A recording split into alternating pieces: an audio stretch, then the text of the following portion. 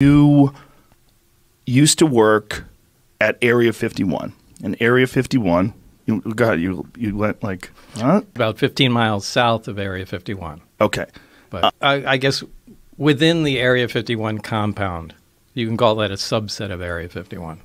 Before that, I had worked at Los Alamos Right. National Labs in New Mexico. And you were involved in what kind of work? There? Nuclear weapon development, physics. I mean, that's they, they do everything there.